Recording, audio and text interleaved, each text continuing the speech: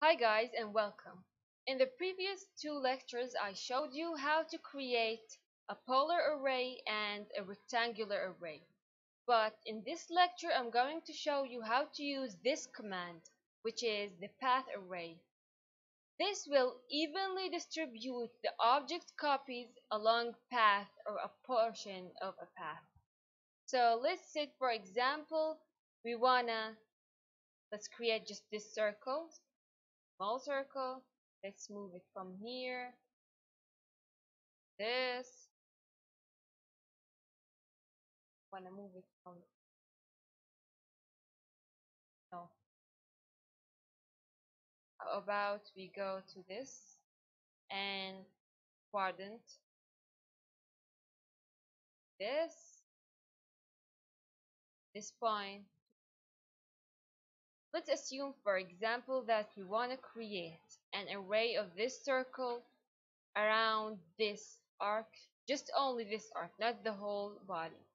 Okay, so you cannot choose the rectangular one and you cannot choose the polar. The rectangular is wrong and the polar array is wrong as well. So we choose something which is called the path array. So we click on the command, select this object, right click, then select the path curve, which is this one. And as you can see, this array will be created. As you can see, here they tell you the number of items, which is 6. 1, 2, 3, 4, 5, and 6.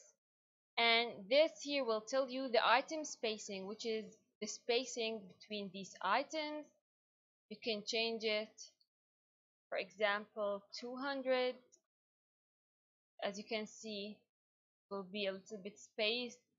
Or you can change it from this one. You can do this or you can do what? This. This one here for what will not do anything since it is parallelized to being started from this, the first one.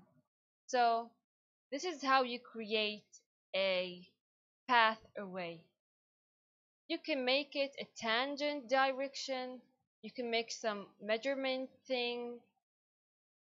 Example, let's set for the what? Tangent direction. To what? To this point you can see it will be created in the tangent direction of that line.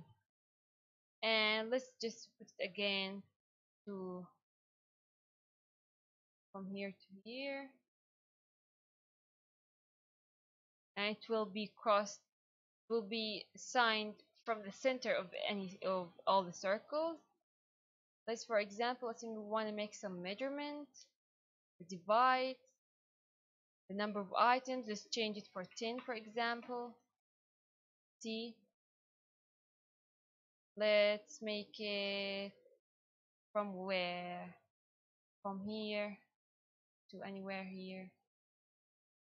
Let's make it as you can see there's a lot of properties and options you can do with the path but that's it for the path array